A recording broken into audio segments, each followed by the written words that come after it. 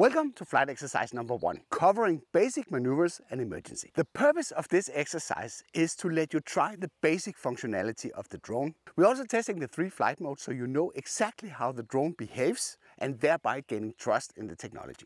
Taking your drone out for the very first time can be quite intimidating. You probably spend a lot of money of this piece of hardware, but you shouldn't worry that much because DJI products have turned out to be pretty reliable and very rarely fail unless you do something stupid. So if you follow these instructions, you would be perfectly fine. There are no beginner mode on drones that are using the DJI Fly app, but there are ways we can reduce the drone's operational room as well as the speed to make sure that it's perfectly safe for you to take off for the first time and you can increase that once you have gained more confidence. Start by picking your location. Find a wide open space with a soft ground where you have easy access to go and retrieve the drone in case you are forced to land it. And that you have clear line of sight so you can monitor the drone all the time during the flight. There might be a few more trees here than uh, I would recommend, but this would have to do for this exercise. When you arrive at the location for your first flight, I would recommend to clear the takeoff area for any obstacles and ensure it's a quiet place like this without any spectators or bystanders. This is really important when you're flying for the first time because as this will add additional stress to your first flight. Follow these procedures to get your drone ready. Start by checking the weather.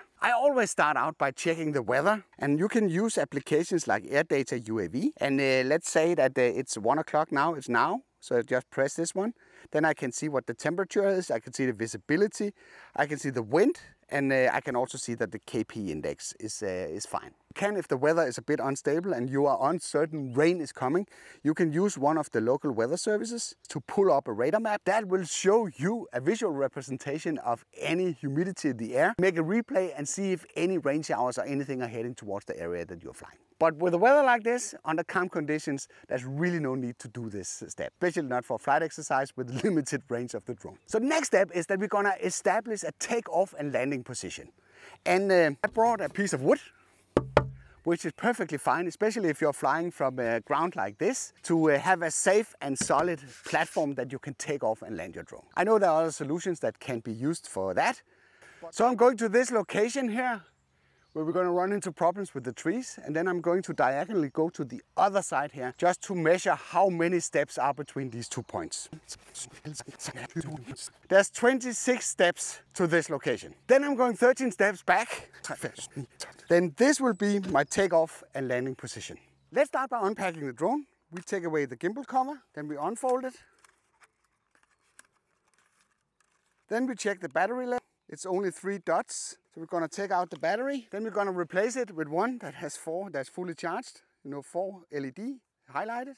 Make sure when you click in the battery that it goes in with a click and it's seated properly. You don't want this disconnecting during flight. Then we're taking the remote. We are mounting the sticks. They are located here on the backside. It's important that you follow the order, that you power on the remote first and then the drone. Next, we're gonna pull down the menu here from the top and then we're gonna make sure that brightness is set to full. So we have clear visibility of what's going on, even if it's a bright sunlight like it is here today.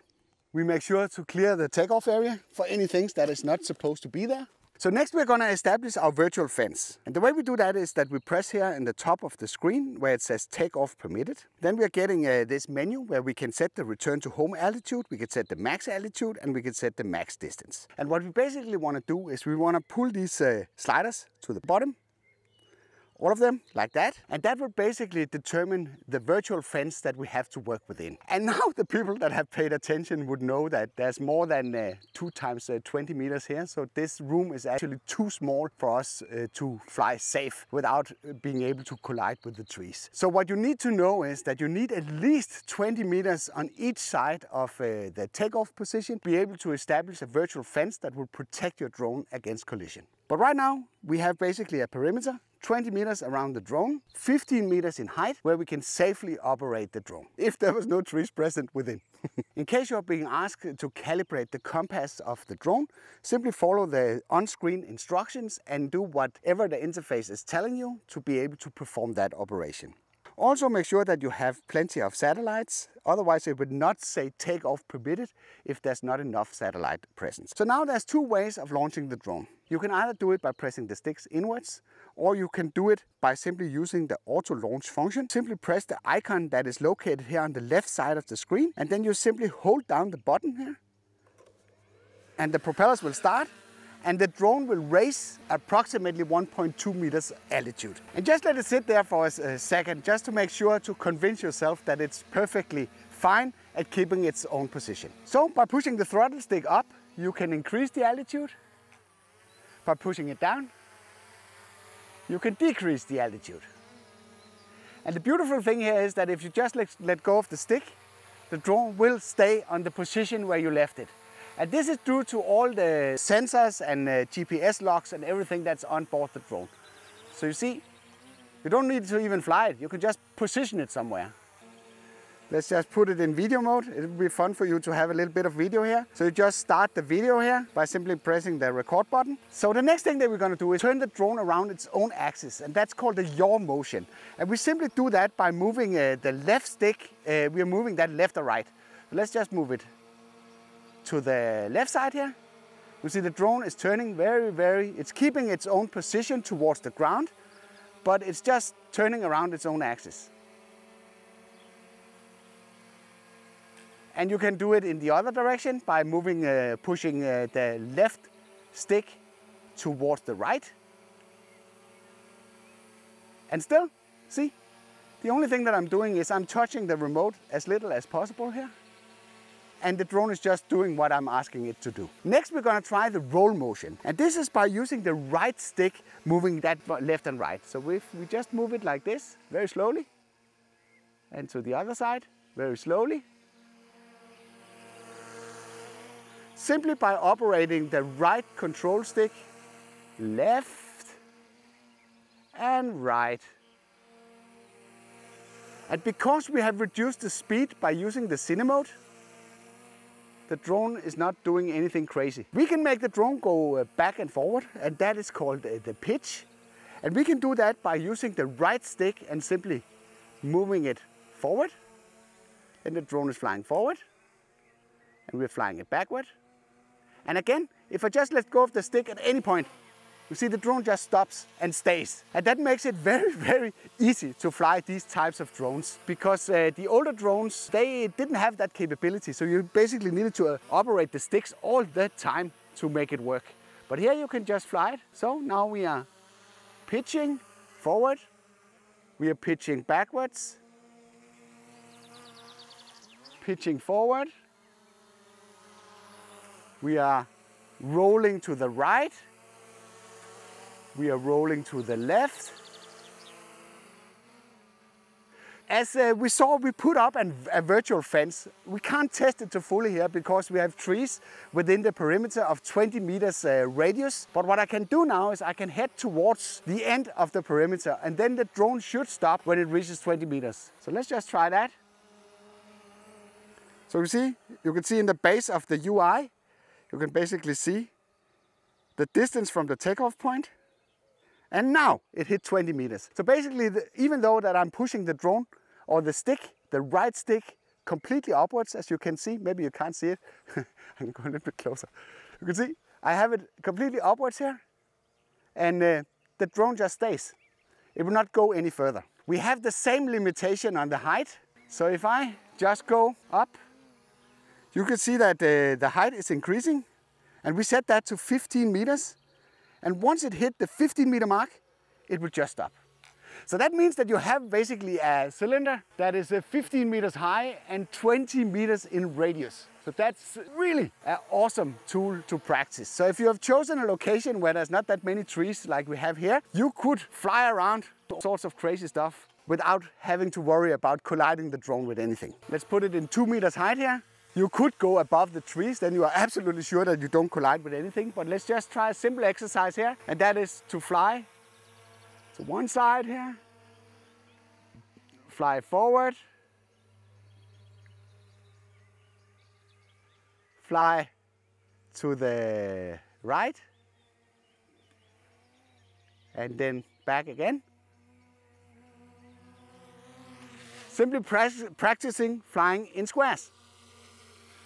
This is a really good uh, exercise that will uh, increase your coordination with the drone. So try to fly in squares. I don't know if uh, the, the, the camera actually captured this. but uh, we should be able to see it here on the map. You can see here is the perimeter that we are working within and you can see the square that I just flew. In the later exercises we will of course combine the movement so that we are using both uh, sticks at the same time. But for now, if this is your first time out flying, I think you will uh, find this uh, challenge, uh, not challenge, but you'll find this exercise uh, nice to increase your confidence. So now let's put the drone here in safe height above our heads my head so I don't get shaved. it's a Mini 3 so it doesn't have any obstacle avoidance so if I fly it towards me and I'm standing in the path where it's flying then it will collide with me. We basically have a back perimeter there as well. if we just turn around you can see there's a lot of trees here that I could have collided with. So right now I have basically 40 meters of runway to play with. Uh, so what we're going to do now is we're going to test the speeds of the drone. We will be able to see that down here measured in meters per second. So let's test out the cine speed. So let's uh, give it full speed here and we can see that at some point it reaches maybe 5 meters per second, 5.2, 5.4 meters per second before it actually slows down because it reaches the outer perimeter. We basically have three flight modes uh, to uh, work with. The one we call Cine, that's the slowest one. Then we have a normal one and we have a sport one. So let's just try to flick it into normal and repeat the exercise and see how fast it will go. It takes a while for it to accelerate, so we might not be able to uh, reach the maximum speed here. But it will fly faster when you're using it in normal mode. You can see it goes up 6.7-ish before it actually stopped. So let's try to flick it into sport mode. This is the fastest mode and if you're flying with uh, drones that uh, have uh, obstacle avoidance, you need to be aware. You might run into problems there because obstacle avoidance does not normally work when you fly in sport mode. So even though you have a drone that is on the tin says that it's protected, you might run into problems. Now we're trying super sport mode here.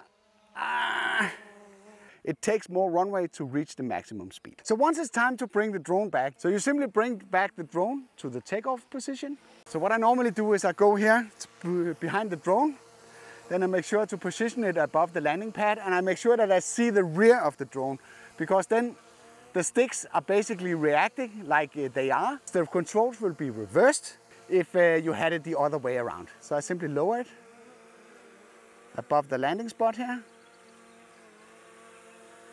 can go closer. And then you simply just land the drone by pushing down on the, the throttle stick. The other way of landing it is simply to use the land function that is part of the DJI Fly app. You just press here and press land. And then the drone automatically lands on top of wherever it's positioned. So you can decide either way. Either land it manually by pushing down on the throttle stick when it's over the landing area, or you can use the automated auto land. I like to land it manually and I would recommend that you do the same. We're also going to talk shortly about safety, what you do in case that you run into problems. So now I position the drone out somewhere and I want to get it back. You can see that uh, I'm quite far away. I'm like 75 meters away here and uh, I'm in the height of uh, 23 meters. Doesn't work with the 15 meters uh, ceiling that we put in uh, before, also the 15 meters uh, distance. The drone just sits there. So I have increased sort of the operational radius of the drone. So now I'm simply pressing the return to home button. I'm long pressing it and then the drone starts to return to the home position. So regardless where you are, what will happen is if you long press this feature is or activate the return to home function is that it will uh, raise to the return to home altitude that you have set in the interface and then it will simply fly back to the home position or home takeoff position. It's not always 100% accurate when it's landing, so that's why it's really, really good that the same button, if you just single tap it, will work as a pause button basically I abort the mission. And that goes for every function inside the drone. Every automated flight mode that's in there, it somehow performs an operation and you don't like whatever it's doing, simply press the return to home pause button. And then the drone will stop whatever that it's doing and just stay fixed like you see it here. What I usually end up doing is uh, I bring the drone back and I let it come down to a reasonable height. And then I simply turn it around like this like I taught you before. So it's rear in, position it above the landing pad, and then I simply bring it down.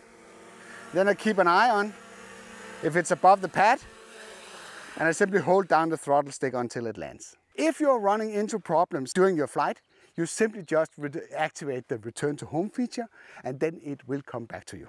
Once the battery is drained to around 20%, you will get a low battery warning and being asked to return to home. If the drone is closer than uh, 20 meters from the takeoff point, you would probably have to fly it back manually yourself. But if that is not the case, the return to home feature will automatically kick in. So this is basically what happens if you ignore it. When it reaches 10%, uh, it's actually going to auto descend wherever it is located. but can actually keep it airborne by just pushing up the throttle stick. In an area where you don't want the drone to land, you can basically fly it around still, but you need to keep the throttle stick up because it is trying to land all the time. So just know that and uh, take it very, very seriously when you get to this point. you really need to start bringing the drone back here over the landing pad. You can see now it's, it's landing. I'm not doing anything. It's just landing by itself and it goes down nicely. Ah, it cuts a little bit of grass. This covers the part about safety. So this concluded your first flight exercise. And as you can see, there's not much to it. I fully understand if you haven't flown a drone before that this is quite intimidating. But if you follow the steps that I've presented in this uh, guide or in this lesson, then you are perfectly fine. Don't make the mistake that I did here, selecting an area where there's trees in close proximity. You need at least 20 meters of radius. I would probably say you need 30 meters, so there's some sort of uh, way room for the GPS accuracy. So if there's like 30 meters around in the perimeter around the drone, you are perfectly fine. Note that the return to home feature does not kick in if you're only 15 or 20 meters away from the takeoff position. The drone will just stop and sit and wait. So if you're gonna try that feature, then you have to increase the perimeter. So after you have tried this, note that I've created a post in uh, the First Drone Academy that is related uh, to this exercise. If you have any feedback or things that you think should be different or difficult to understand, then head in there and drop your comments and then let's improve this together. So I hope you like this exercise and are looking forward to the next one where we're gonna turn it up a notch. Thank you, and as always, it has been a pleasure and hope to see you in the next flight exercise.